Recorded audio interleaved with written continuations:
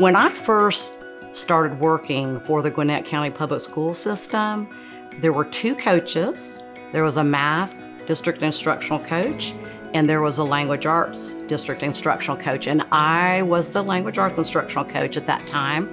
In the 10 years that I was at the district level, we added instructional coaches to every content area. So the number of coaches expanded tremendously. And so we were all, you know, trying to really look cohesive, but it wasn't.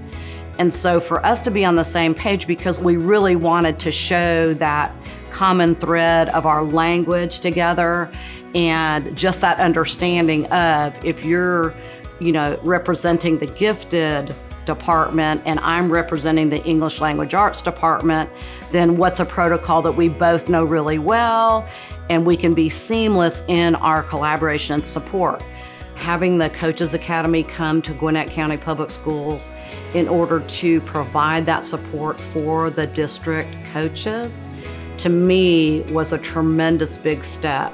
So we would have a session with Learning Forward.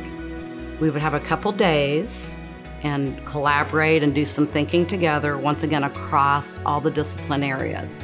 You could really feel in the room just the cohesiveness coming together and coming back and revisiting, you know, specific strategies we had been working on.